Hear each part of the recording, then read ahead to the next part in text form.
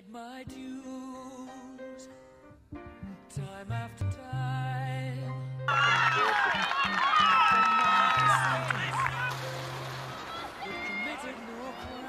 El bote de León, León, el servicio parece pasando, nuevo centro.